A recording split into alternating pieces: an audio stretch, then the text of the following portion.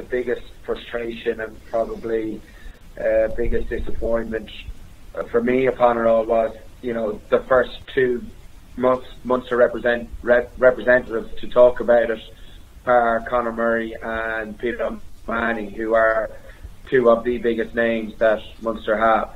Um, I think that should have been someone who was front and centre in the signing of it and probably should have been taken away.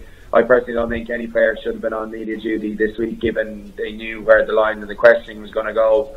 It was obviously going to happen and the first two people to talk about it are his teammates. And it's putting the lads in an unfair situation. Um, I think that should have been someone from higher up in the organisation and it should have been spoken about.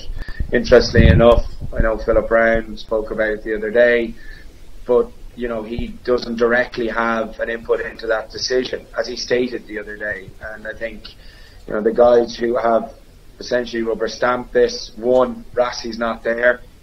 Um, but the guys who are currently in situ who did rubber stamp it, they haven't answered anyone's questions on it.